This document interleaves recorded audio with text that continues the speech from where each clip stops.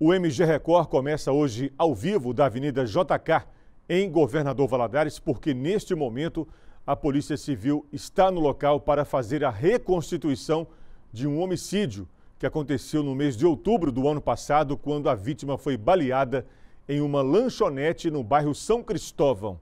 O repórter Miguel Braz está no local. Boa noite, Miguel.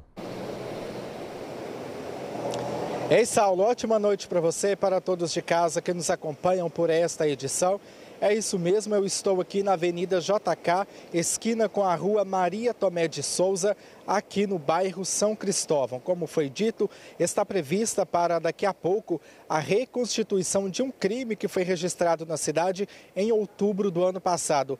Até o momento, a equipe da fiscalização de trânsito já está no local para garantir a segurança, as equipes da Polícia Civil já começaram a chegar também, portanto, a reconstituição está prevista para daqui a pouco. Mas a gente vai relembrar um pouco sobre este caso. O crime em questão aconteceu no dia 15 de outubro do ano passado e a vítima é Flávio Júnior Gomes de Souza, que na ocasião tinha 22 anos. Ele foi executado a tiros.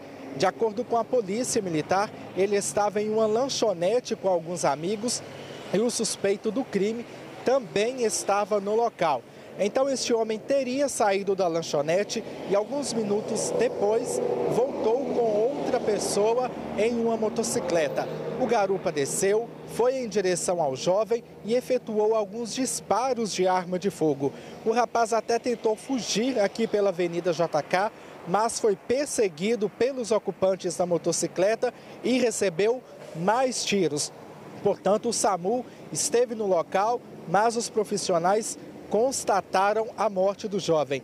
A perícia, na ocasião, constatou que Flávio Júnior foi alvejado na cabeça e nas costas. Portanto, as investigações da Polícia Civil apontam que o jovem pode ter sido morto por engano. Portanto, 11 dias depois, mais precisamente no dia 26 de outubro, um suspeito de 26 anos foi preso na região central. Com ele, a polícia apreendeu uma arma de fogo. E mais uma vez, só constando, estamos aqui, estamos aqui na Avenida JK, esquina com a Rua Maria Tomé de Souza, onde daqui a pouco está prevista a reconstituição deste crime. Saulo.